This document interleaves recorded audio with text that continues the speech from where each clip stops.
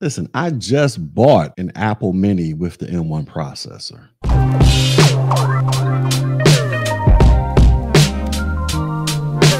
What up, y'all? This is your boy Tech Gee back with another video to talk about the Apple M1 CPU. And apparently, there's some potential issues with it that can cause some headaches for some people out there, like me, who just bought a brand new Mac Mini with the M1 processor, as you can see right here. I haven't even hooked this thing up yet. Been sitting on my desk for two weeks and I haven't even turned it on yet. So let's see what all the fuss is about. So shout out to all these MIT researchers always out there finding problems with things. Appreciate that. Says uh, the MIT researchers discover a new flaw in Apple's M1 CPUs that cannot be patched. I don't like the sound of that. Like I said, I just bought one of these machines. Says a novel hardware attack dubbed Pac-Man has been demonstrated against Apple's M1 processor processor chipsets, potentially arming a malicious actor with the capability to gain arbitrary code execution on Mac OS systems. It leverages speculative execution attacks to bypass an important memory protection mechanism known as the ARM pointer authentication, which is a security feature that is used to enforce pointer integrity. It says what's more concerning is that while the hardware mechanisms used by Pac-Man cannot be patched with software features, memory corruption bugs can be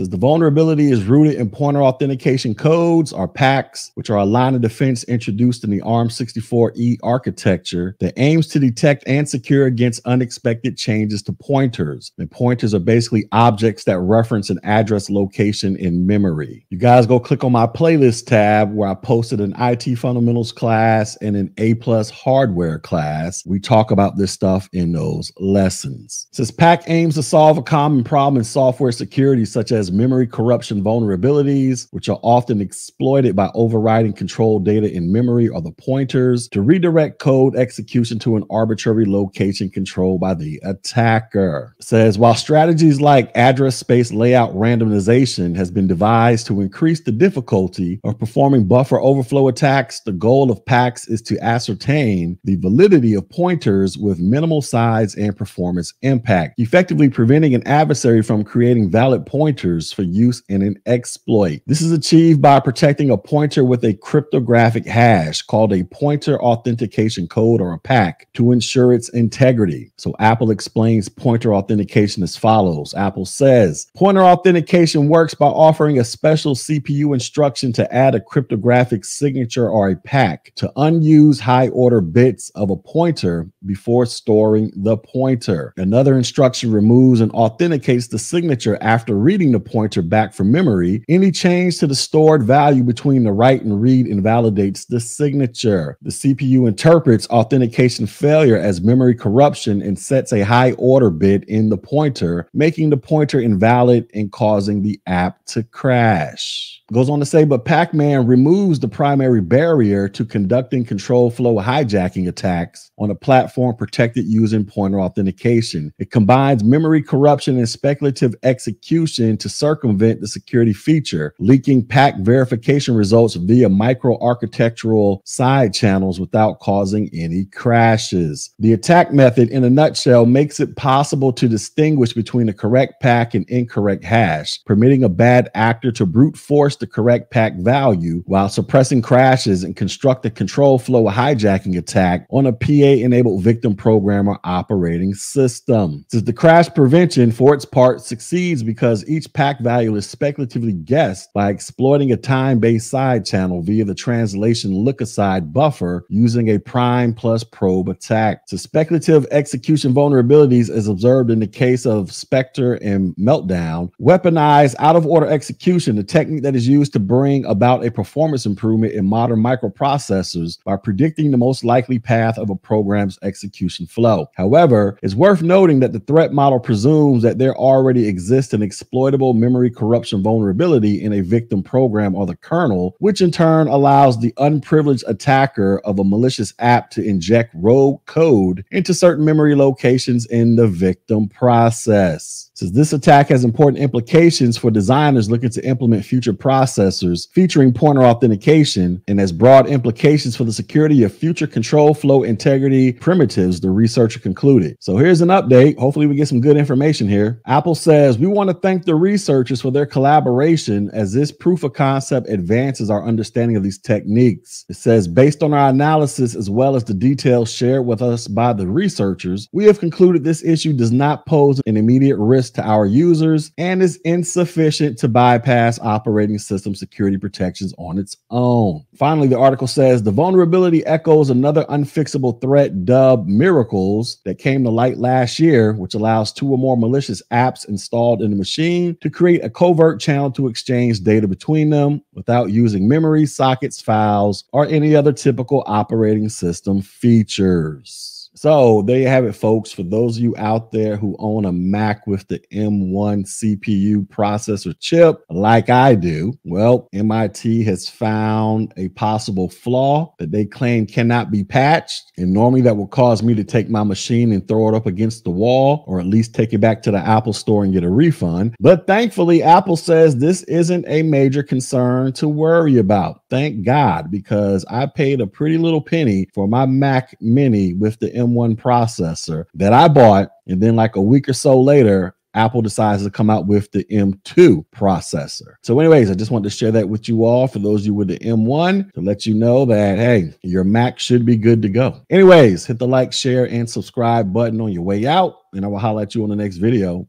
Peace.